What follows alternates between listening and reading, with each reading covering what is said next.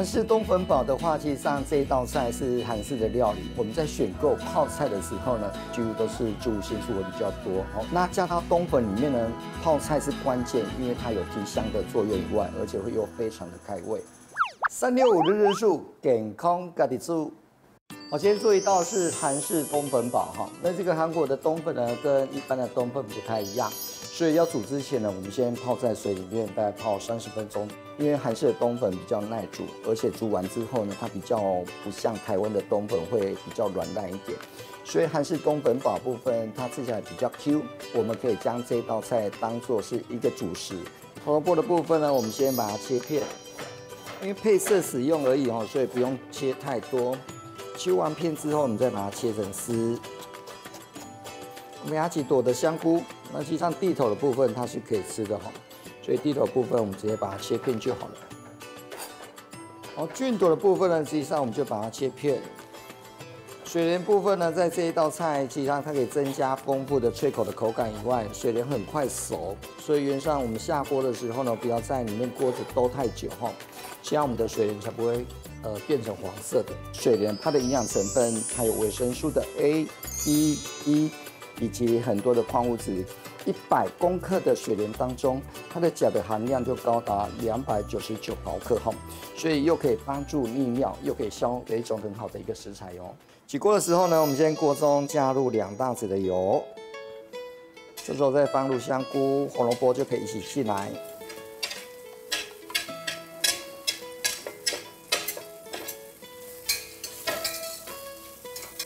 放进来之后，我们再加入泡菜哦。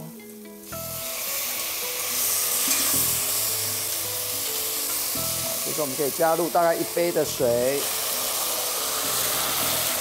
韩式冬粉煲的话，其实上这道菜是韩式的料理，离不开一些泡菜类的东西。那加到冬粉里面呢，泡菜是关键，因为它有提香的作用以外，而且会又非常的开胃。我们加入一大匙的酱油，好，味淋二分之一匙就够喽。来一点点胡椒香。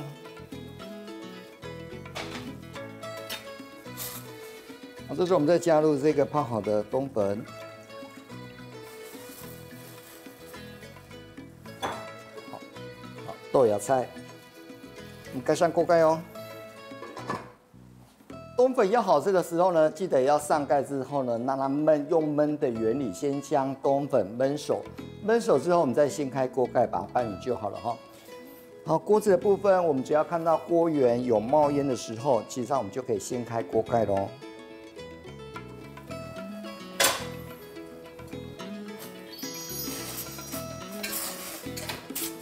这是锅子了，你就把冬粉给它搅拌一下。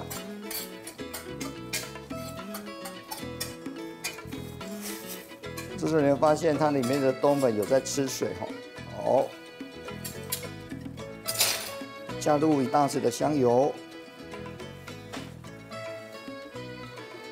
水莲来喽。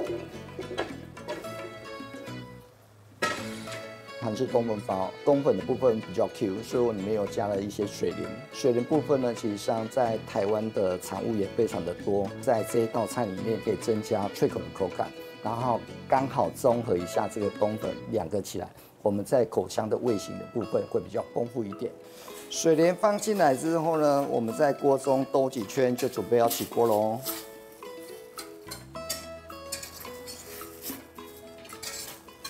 好，准备上盘。